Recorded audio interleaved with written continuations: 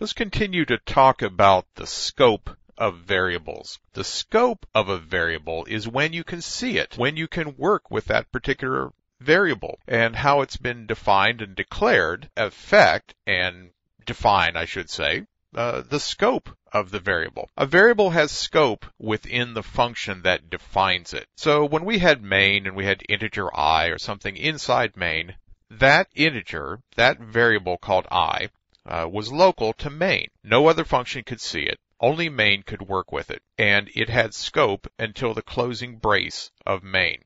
We saw just a little bit ago external variables.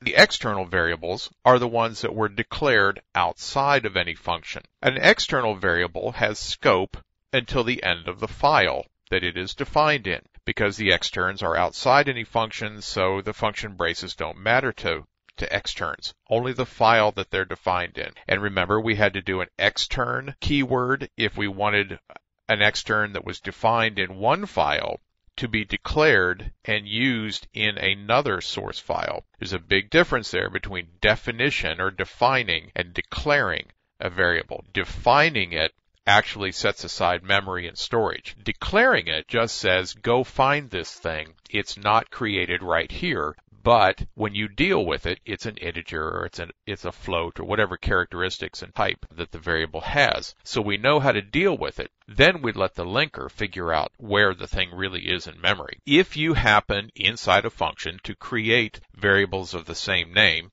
shame on you, first of all. You shouldn't do that because it's very confusing. But if you do, the variables of the same name will win the closest ones to you will win. So let's take a look here at what I mean by that. It's easier to, to see it in, in the code. Here's a, a quick little stub of main, and here we have an integer i, it's set equal to zero, and we test it. If i is equal to zero, it is, that's true. We're going to come in here, and now we can make a new integer i because we're inside a new code block. This is a almost like a function definition inside here, but it doesn't have any name. So we can create a new local automatic variable here, i, set it equal to something, and do whatever we want to with it. But when we do that, that will not affect this i.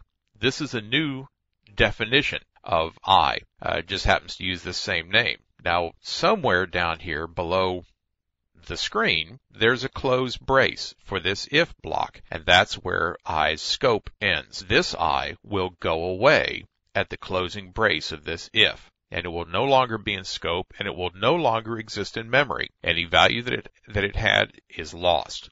Okay, so this i is not, is not this one. This is a brand new i down here. And that is, uh, one of the trickier things to know about scope is you can do this and scope only lasts within these braces. The scope of this i will only last until the ending closing brace of main down here someplace. And if we created another variable up here, an external, that variable outside of any other function, that external, would only last for the length of this source file. It would only last for any of the uh, functions that were de- defined in this. So that's talking about scope and the scope of a variable and how long a variable exists and how long it keeps its value. Okay? So that's scope.